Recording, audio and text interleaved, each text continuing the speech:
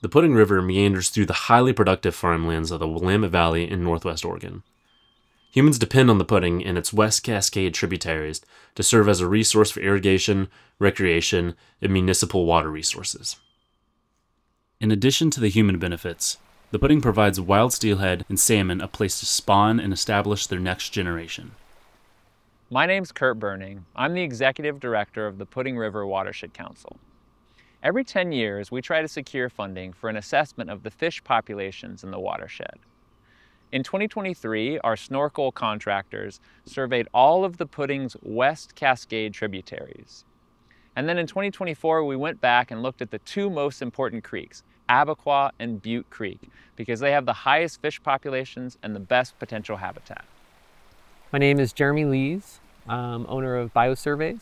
Biosurveys uh, conducts stream surveys, uh, predominantly fish inventories and habitats or stream habitat surveys. We specialize in a rapid bioassessment snorkel inventory and the protocol was developed to answer fundamental questions about spatial distribution of salmonids within a watershed. Cutthroat trout, steelhead trout, chinook salmon, and coho salmon are the four, four species of salmonids that we're primarily inventorying. Yeah, the rapid bioassessment protocol is uh, developed to establish uh, population estimates, distribution trends, and habitat functionality. So we're looking for spawning gravel.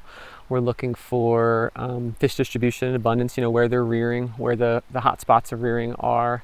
And we're looking for physical channel attributes as well to allow us to prioritize restoration.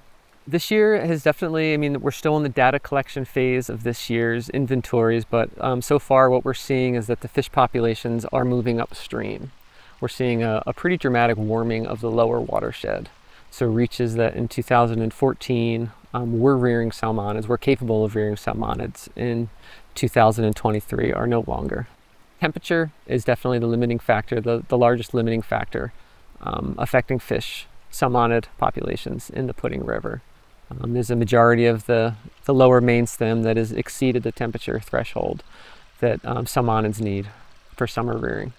Monitoring is a really important part of our work because it helps us gauge what is working and what isn't working and get data to prioritize projects for the future. It's also really nice to have that data when we talk with landowners or partner organizations, because then we can explain why a certain project might make a difference in an area, or why we're prioritizing that reach of stream.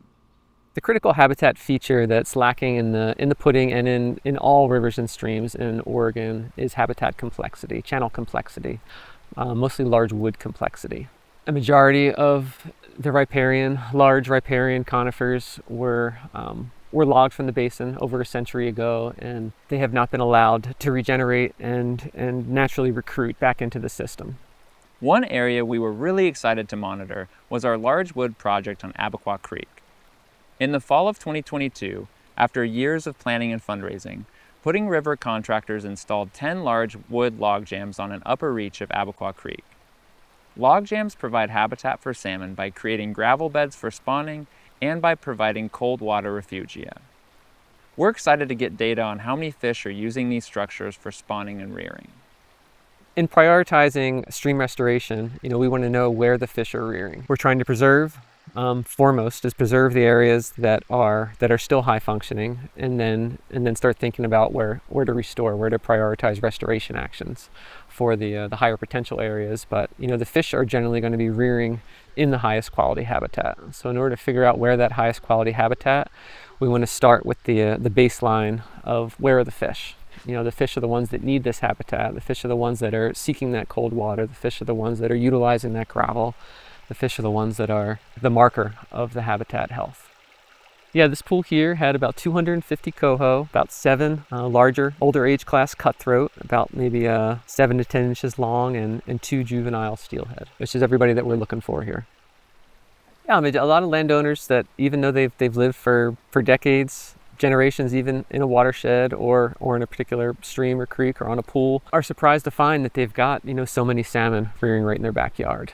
You know, very few people put their head in a creek to look around, but when you do, you really you get a different perspective and you see a, you see a lot. Stewardship of water and land is really important for present and future generations. So if you want to get involved locally in making the Pudding River watershed a better place, We're always looking for volunteers, board members, donors, and sometimes we're even hiring staff. Check out our website or send us an email at info at puddingriver.org to get involved.